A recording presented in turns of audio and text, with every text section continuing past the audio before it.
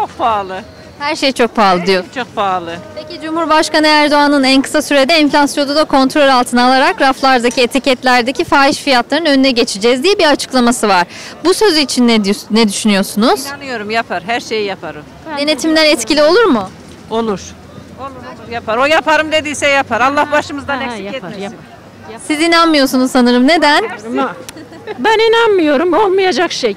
Neden peki? Bugüne kadar olmamış bugünden sonra mı olacak? Vallahi her şey olduğuna, her şey yaptığına göre onu da yapar. Her şey onun Doğru elinde. yani doğru söylüyor. Haklısınız.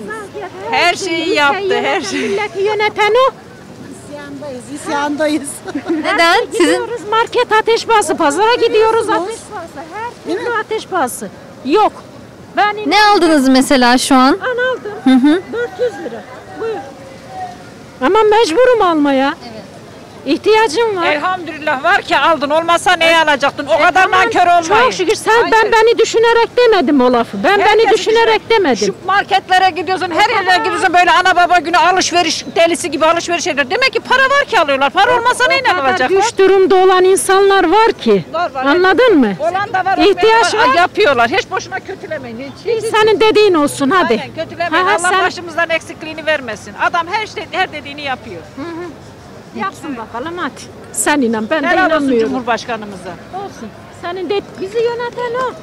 Pazara gidiyoruz ateş pahası, markete gidiyoruz ateş pahası. Her tamam da- türlü ateş pahası. Tamam ya. da Cumhurbaşkanı mı dedi zam yapın. O markete Bunu- gidiyorsun farklı, bu markete gidiyorsun farklı. Herkes kendi kafasına göre bir zam yapıyor. Bunu baştan yapacak, ne baştan. Milletin canı yandıktan sonra yapsan olur, yapmasan Peki göstermelik mi bu e, fahiş fiyat denetimleri yoksa gerçekten olur mu? Bence göstermelik. Bence göstermelik değil, gerçek. Öyle olsun, senin dediğin olsun. Aynen.